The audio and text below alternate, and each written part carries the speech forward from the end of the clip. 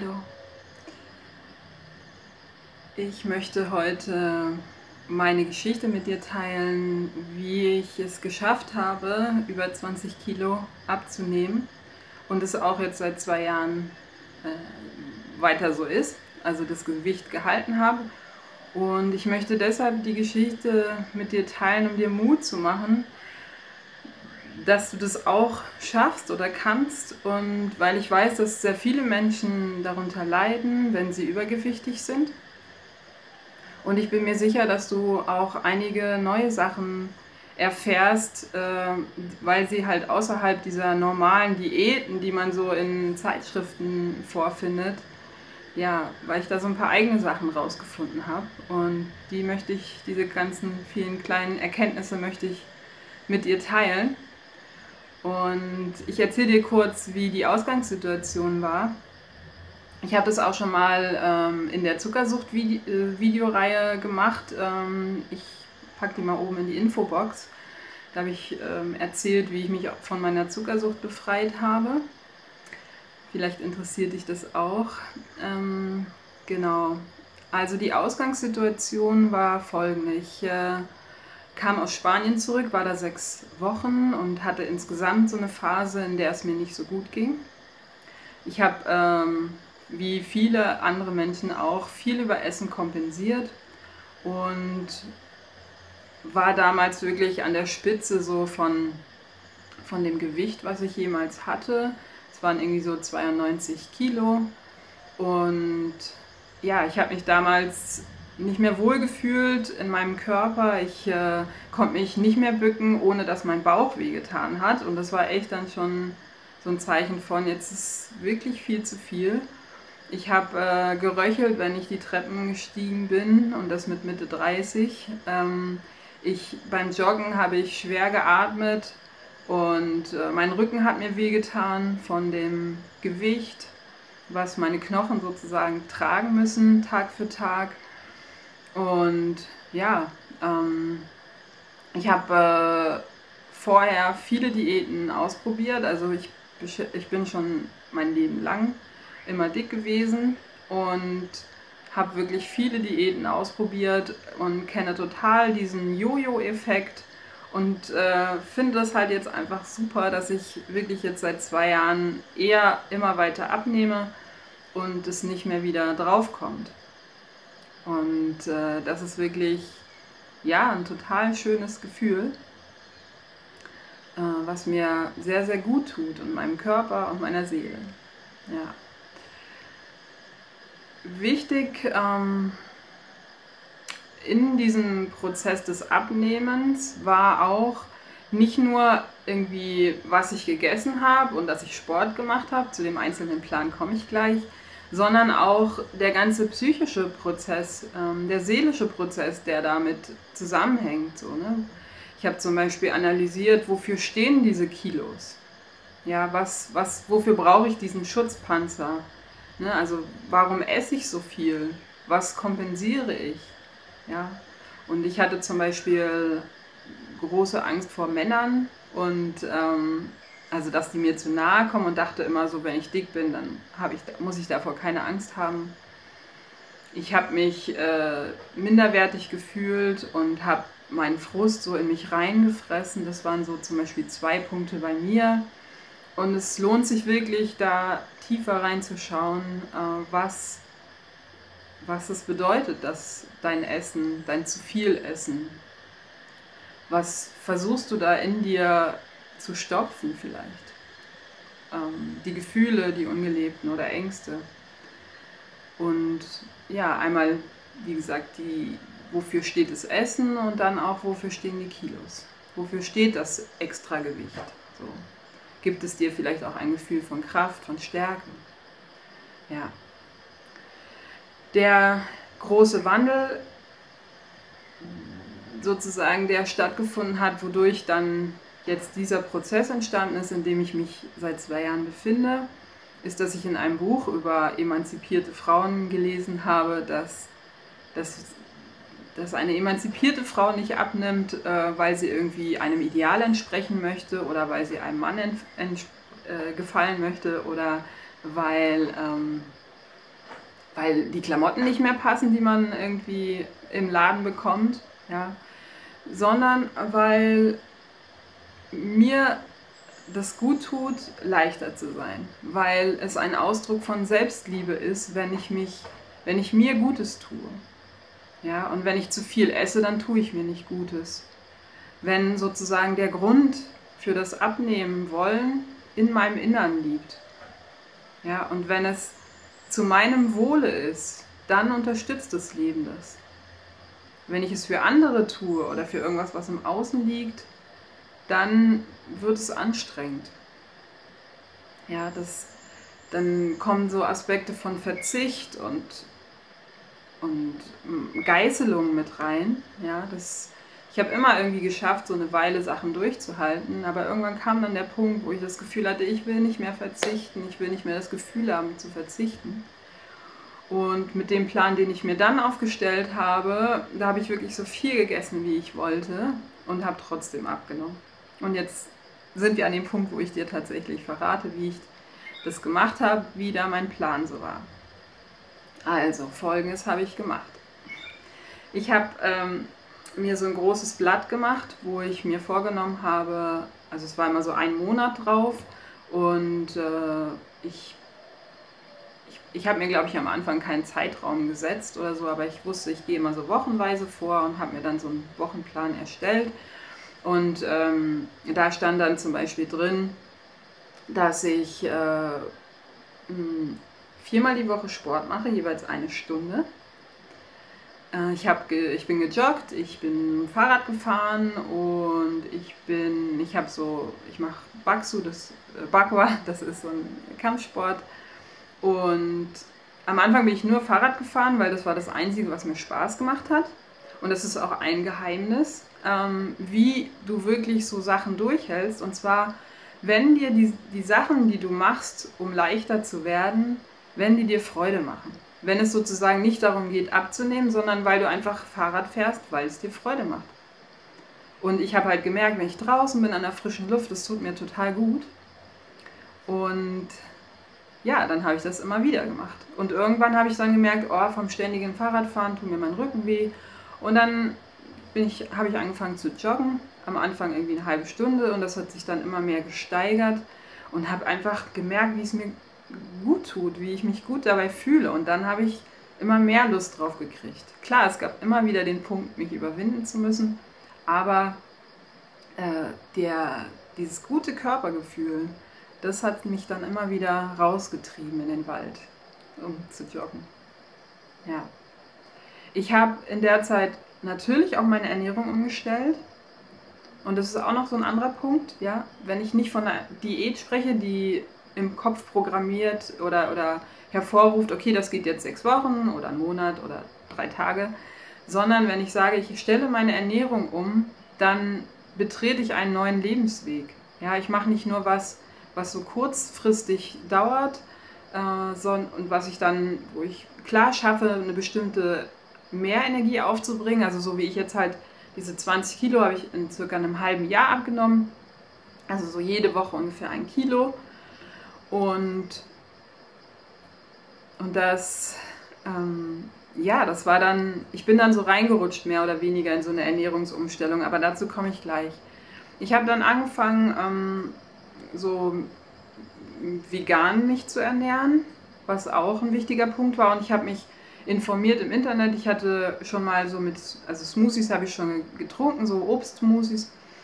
Ähm, und kannte das von Freunden so mit diesen grünen Smoothies und habe dann auch mal bei YouTube so Videos angeguckt und bin dann relativ schnell auf das Rohkost einmal eins gestoßen, auf Silke Leopold, auf Roletics und habe die Rohkost kennengelernt, die ich bis dahin noch gar nicht kannte. Aber ich habe gemerkt, auf den Tellerchen, die ich mir immer so, oder auf den großen Tellern, die ich mir zubereitet habe, es war halt eh schon viel Rohkost und dann war das wie so ein leichter Übergang, dann einfach mal auszuprobieren, wie das ist, komplett roh zu, mich zu ernähren. Ja, also roh heißt alles ungekocht. Und das war dann einfach auch sehr spannend, diese Umstellung, das auszuprobieren, das Neue. Ich habe gemerkt, ich habe früher schon immer nicht gern gekocht und das kam mir total entgegen, so alles. Und ich fand es total genial, dass ich mich nach dem Essen nicht schwer gefühlt habe. Ja, wenn ich sonst Kuchen in mich reingefressen habe, das ist wirklich so meine große Sucht gewesen. Also viel Kuchen, viel Süßigkeiten. Und ich habe mich danach einfach nicht gut gefühlt. Ja. Und das war auch wichtig, so zu realisieren, nach welchem Essen fühle ich mich gut, ja, worauf, was möchte ich wieder äh, essen und wonach fühle ich mich schlecht. Und das dann wegzulassen. Und wirklich immer dabei zu sein und diese Erkenntnisse einzubauen und Schritt für Schritt vorzugehen und dann immer weiter zu gehen. So, und ähm, klar, das hat, das kostet viel Energie, viel Überwindungsenergie, die dann aber wirklich, äh, die ich dann spüren kann, indem ich mich wohler fühle in mir selbst, mit mir selbst. Und es hat mich total angespornt, so zu merken, boah, ich kann mein Ziel erreichen. Ich habe das ganz ohne Waage gemacht. Also ich habe wirklich, und das würde ich dir auch sehr empfehlen, einfach auf dein Gefühl zu hören. Immer, immer stärker dein Gefühl zu trauen und äh, dem nachzugehen und es immer mehr zu verstärken und dieses Körpergefühl immer weiter auszubreiten. Weil wenn du wirklich mit dir und deinem Körper verbunden bist, dann futterst du nicht mehr Sachen, die dir nicht gut tun.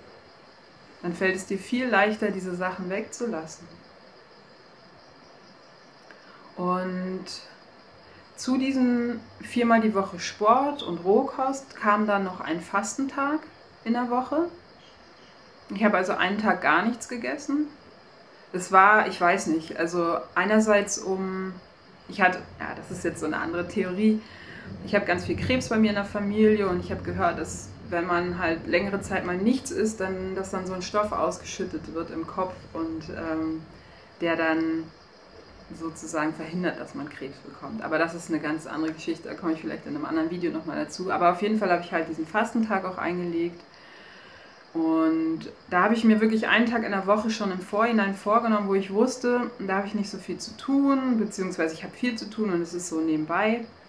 Also guck da, was irgendwie für dich passt. Der hat mir auf jeden Fall auch sehr gut getan, weil ich da meinen Darm äh, entlastet habe und das war wirklich ja auch ein cooles Gefühl, mal so einen Tag nicht zu essen und nichts in mich reinzustopfen. So, genau. Und ich habe dann, wie gesagt, das mit der Rohkost ist ja jetzt auch nicht so verbreitet, angefangen, mich mit anderen Rohköstlern zu treffen. Bin dann immer zu Rohkostpicknicks gegangen, um einfach mich bei der Stange zu halten, um mich mit Gleichgesinnten zu treffen und mich nicht wie so ein Alien zu fühlen unter all den anderen. Und das ist wirklich ähm, das Krasse bei der Rohkost, wenn du mit dieser Umstellung anfängst, dann kannst du wirklich essen, so viel du willst. Ich habe gefrühstückt, also hier grüne Smoothies gefrühstückt. Ich habe mittags mir so einen bunten Teller gemacht mit ganz viel Gemüse und Obst und alles, was ich wollte.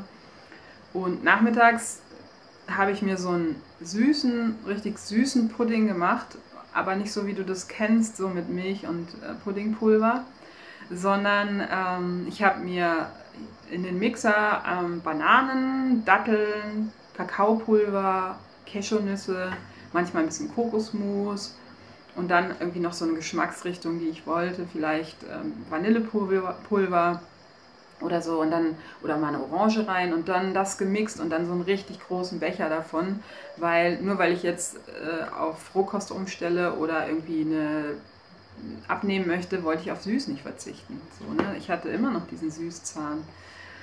Und äh, ja, das konnte ich total machen und ich habe trotzdem abgenommen.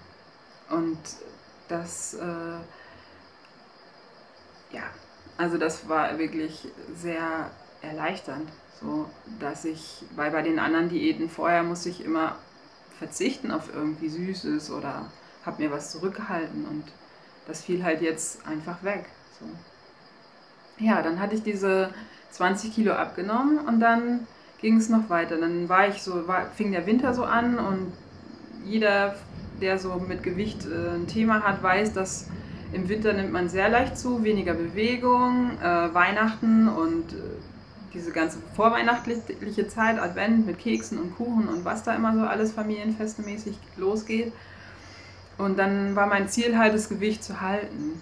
Und ähm, ich habe dann mh, gemerkt, okay, so 100% Rohkost halte ich nicht durch. Das war jetzt wirklich so für diese Phase vom, von dieser Intensivphase vom Abnehmen, da war das okay. Und dann habe ich aber gemerkt, so, boah, nee, im Winter nur roh geht irgendwie nicht. Und habe dann wieder angefangen, ähm, gekochtes zu essen. Mein Ziel war aber, weiterhin vegan zu essen. Und ich erzähle dir, warum ich vegan mich jetzt seitdem ernähre. Und zwar habe ich einfach gemerkt, dass ich dieses, dieses Leid, was die Tiere empfinden, wenn sie geschlachtet werden, wenn sie getötet werden, ich wollte das nicht mehr aufnehmen in mich. Weil das auch zu meinem Gefühl beiträgt, was ich in mir habe. Und wenn ich tote Tiere esse, dann nehme ich diese, diesen, diesen leidvollen Weg äh, mit auf. Und ich habe einfach gemerkt, dass meine Gedanken, seitdem ich mich vegan ernähre, viel reiner sind, irgendwie viel klarer sind. Ich habe auch ähm, Gluten weggelassen, also weil ich einfach gemerkt habe, das tut mir nicht so gut. Aber ja, also das sind so lauter kleine Schritte, die Erkenntnisprozesse, die dann da noch mit dabei waren. Und genau, und dann durch diesen Winter habe ich dann gemerkt, okay, dieses Rohkost, es ist nicht irgendwie nur, äh, was mir hilft abzunehmen, sondern es ist halt wirklich eine Ernährungsform, die mir gut tut und die ich weiter verfolgen will. Und, und dass das wirklich ein Weg ist den, den es da zu gehen gibt. Ich bin jetzt bei 60, 70, 80 Prozent Rohkost und also ich merke, wie das von ganz alleine immer weiter ansteigt. Aber ich habe da jetzt auch kein Ziel mehr und ich esse mittlerweile einfach immer mehr nach Gefühl, worauf habe ich Lust. Aktuell bin ich dabei dem Punkt, dass ich morgens faste bis gegen 12 ungefähr mittlerweile auch Trockenfasten, also dass ich wirklich meinen Darm total entspanne äh, bzw. Ruhe gebe. Und äh, das tut mir total gut, das merke ich, meinem Darm, der Verdauung einfach diese Ruhepause zu haben. Dann fange ich mit äh, Obst an oder leichten, also so Mono-Sachen. Also ich versuche immer nur eine Sache zu essen, nicht mehr so viel verarbeitetes. Am Anfang bei der Rohkost habe ich einfach alles, was es in der, sage ich mal, Kochwelt gibt, äh, in Rohvariante nachzumachen. Also Rohkost-Cracker statt Brot, ähm, Rohkost-Pizza statt normaler Pizza, also so Käseteigpizza. Mm, Kuchen auch alles nachgemacht in Rohvarianten. Also da findet ihr unzählige Rezepte. Ähm, und ja, roh ist einfach, du nimmst lebendige Nahrung auf. Du nimmst Lebendigkeit in dich auf und das kommt bei der Seele einfach an. Genau. Dann, ähm, ach so genau, was ich noch vergessen hatte bei, diesem, bei dieser intensiven Abnehmphase, noch zwei weitere Tipps. Das eine ist Ausnahmen. Ja, wenn du mal sozusagen dann doch irgendwie Kuchen aus, vom Bäcker isst oder irgendwie beim Geburtstag oder auf dem Buffet oder so, dann heißt das nicht, dass alles verloren ist und du komplett alles vergessen kannst, sondern du machst einfach danach ganz normal weiter mit deiner Umstellung. Und ja, das war auch für mich total wichtig, diese Erkenntnis, dass, dass ich dann nicht versagt habe und alles hinschmeiße. Und deswegen habe ich dann quasi mir das auch eingebaut, dass ich gesagt habe, ich darf zwei bis drei Ausnahmen die Woche machen und alles, also so, wenn ich beim Geburtstag war oder so, dass ich dann da halt auch mal, ich sag mal, bei den anderen mitgegessen habe. So. Bei den ganz normalen gekochten Sachen oder gebackenen Sachen oder so. Also, dass das auch mit dabei ist. So. Und das andere, meine Woche fing immer dienstags an. War auch so ein Trick, den ich dann irgendwann kapiert habe, weil ich äh, gemerkt habe, wenn ich jetzt nicht geschafft habe, bis Freitag irgendwie mh, mm, Sport zu machen oder so, dann war immer Samstag, Sonntag, war aber irgendwie so Wochenende und Ausruhen und Genießen. Und wenn ich es bis dahin halt dann nicht geschafft hatte, diese, das alles so äh, zu befolgen, was ich mir da als Regeln aufgestellt hatte, um mich an ihnen festzuhalten, um mir einen Rahmen zu geben, Dann hatte ich noch den Montag, um irgendwie Sport zu machen, weil Montag ist ein super Tag, um zu fasten. Also montags habe ich meistens den Fastentag dann gemacht und halt auch für, um Sport zu machen. Genau. Ja, also, ich sag dir, dass die, die, die das Abnehmen viel, viel leichter fällt, wenn du wirklich auf das Glück schaust. Wenn du auf das schaust, was es dir gibt und du bemerkst, wie es dir gut damit geht und du Dinge tust und die Schritte tust, mit denen du dich wohlfühlst und glücklich fühlst, so dann kann es, dann kann es wirklich funktionieren und auch dauerhaft. Ja. Also probier es mal aus und lass mich gerne wissen, wie das für dich so vonstatten geht. Wenn du bei deinem Weg Unterstützung möchtest, kannst du mich gerne anschreiben und wir können irgendwie so einen Skype-Termin ausmachen. Ich begleite dich da total gern und schaue auf deine Stolperfallen mit dir und da, wo man immer wieder mal reinfällt. Du musst da nicht alleine durch. Ich habe mir auch Unterstützung geholt und es ist einfach wunderbar, da mit jemandem das zusammen zu machen. Und wenn du Lust hast, die Rohkost mal kennenzulernen, ähm, im August und November Wobei im August ist besser, weil das ist dann wirklich ähm, ein Retreat, wo, es um Rohkost geht auch. Und zwar mache ich ähm, mit äh, Tobias von Rawletics zusammen ein Retreat, wo es um Meditation und äh, ähm, äh, habe ich das Wort vergessen? Meditation und naja, also es geht um, äh, um Ankommen. Ankommen, genau, um Ankommen.